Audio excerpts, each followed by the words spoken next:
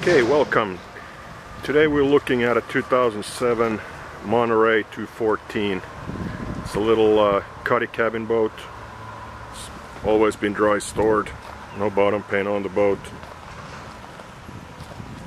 On the hull sides you can see some marks from docking. Overall for the age I'd say it looks pretty good. It's got a single Volvo 4.3 GXI fuel injected V6 the outdrive works fine trim works. Show it to you later when uh, we flush it after our sea trial. The worst part with this boat is definitely the inside. The upholstery is uh, pretty badly damaged because of the sun. Apparently the previous owner did not keep the boat covered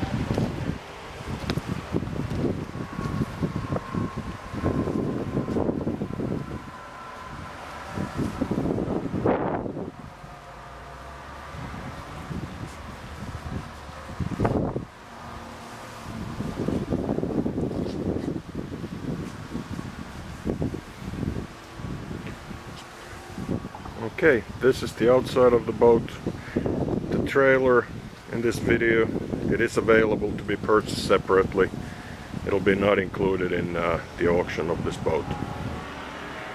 Okay, let's take it to the ramp next and uh, put it in the water and I'll show you the inside better and uh, then we'll take it for a ride, see how it runs. This is the inside of our uh, 21 Monterey. We've got uh, 522 hours on the hour meter. We've got the uh, multi-gauge thing, it works fine. All of those gauges work. The speedometer doesn't work. Uh, bilge pump works and the nav lights work. This boat is gonna need a new horn, new blower,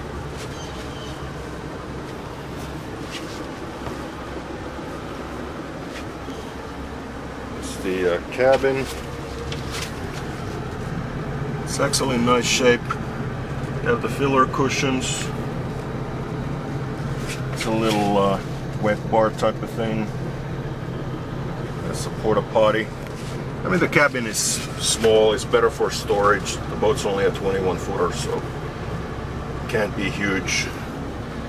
The door actually has steps on it and the windshield opens up so you can get easily on the front deck.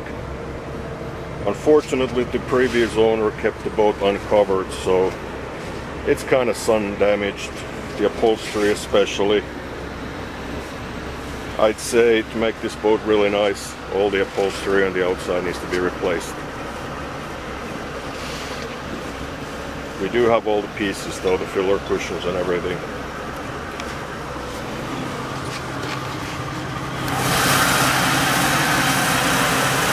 The engine room. Show it a little bit better when we go for a sea trial. Sunbed, it's also pretty sun damaged. And the helm seat. Shifter works, goes to reverse, forward, even the trim works.